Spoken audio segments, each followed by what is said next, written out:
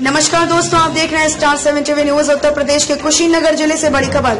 आपको बता दें कि कुशीनगर के रामपुर बंगला इलाके के सुधीर सिंह, जो कि एक टीचर है, उनके ही घर पर एक व्यक्ति ने उनकी हत्या कर दी थी। हत्या कर अपराधी भागने लगा, तभी शिक्षक के हत्या आरोपी को भीड़ ने पकड़ लिया एवं पुलिस प्रशासन के सामने आरोपी को भीड़ ने पीट पीट कर मार डाला। सूत्रों में पता चला कि हत्या आरोपी भीड़ जमा होने के बाद आत्मसमर्पण करना चाहता था।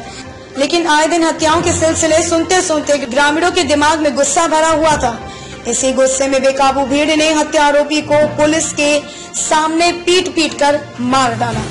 पुलिस ने लोगों को समझाने की भी कोशिश की, लेकिन वह आरोपी को बचाने में नाकामयाब रहे।